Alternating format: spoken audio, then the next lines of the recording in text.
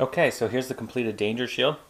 All you have to do is attach your Arduino, make sure that USB port is insulated well, and upload some code. There's a bunch of different uh, samples on the website. I uploaded one.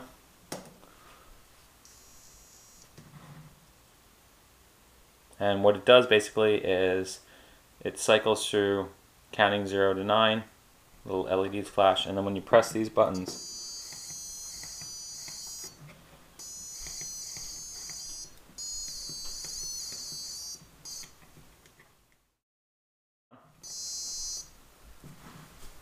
Okay, when I made the Solar Theremin, I played Name That Tune.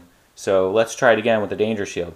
Remember, the Danger Shield does a lot more than just what I'm showing here. It has a, a knock sensor and a temperature sensor and you know all sorts of cool lights and sliders and it does a lot more. I just happen to like the audio part of it, so I uploaded this demo.